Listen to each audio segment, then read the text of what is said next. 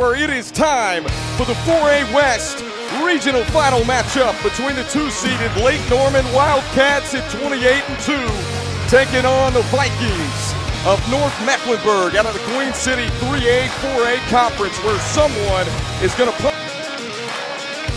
Chaplin trailer attacking downhill on the pull-up J. You betcha. Kicks it back.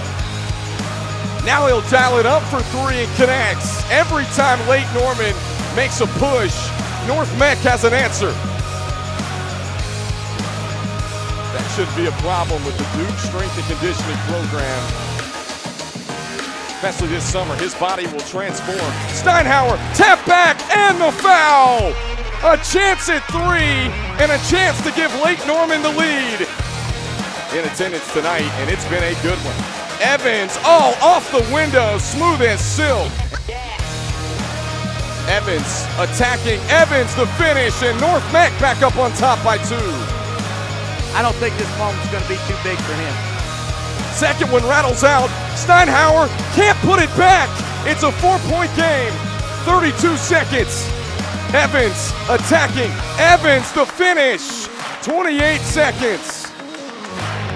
Santana Lynch running the baseline.